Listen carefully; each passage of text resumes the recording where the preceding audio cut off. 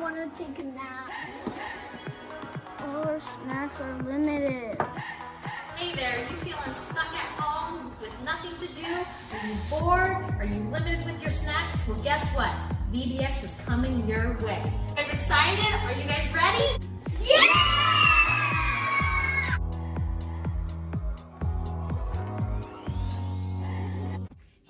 It's Miss Heidi. Hi, it's Miss Amber here. I just we just want to come on here and let you guys know that this year's VBS will be virtual. Um, we will give you the kits at our Family Fun Day on July 26th. Now, if you guys were not planning on attending that, that's okay. Let myself or Miss Heidi know or Mr. Carl know, and we will get those kids to you somehow.